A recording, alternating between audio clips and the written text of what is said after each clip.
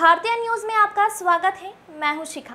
आइए देख लेते हैं आज की खास खबर। गनवानी थाने के अंतर्गत पल्ली व्यापारी के साथ दिन दहाड़े हुई लूट, अज्ञात लुटेरों ने व्यापारी पर धारदार हथियार से किया हमला। व्यापारी नथुलाल राठौड़ हुए घायल, जिन्हें इलाज के लिए बड़वानी रेफर किया गया। धार ज़िले की सभी तहसील बदनावर, पीथमपुर, धर्मपुरी, मनावर, कुक्षी गंदवानी डही सरदारपुर में भारतीय न्यूज़ चैनल के लिए तहसील स्तर पर संवाददाता नियुक्त करना है। सिर्फ़ इच्छुक अनुभवी ही संपर्क करें।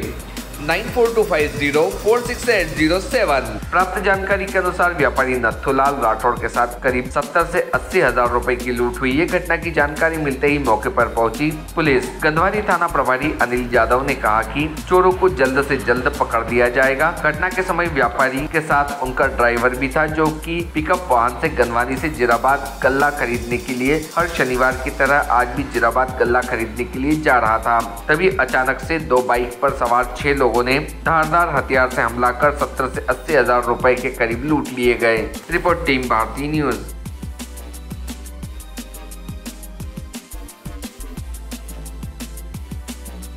आपके गाँव, शहर, प्रदेश और देश की चुनिंदा, दिलचस्प खबरों को पाने के लिए सब्सक्राइब करें भारतीय न्यूज़ चैनल को और बेल आइकन दबाना ना भूलें।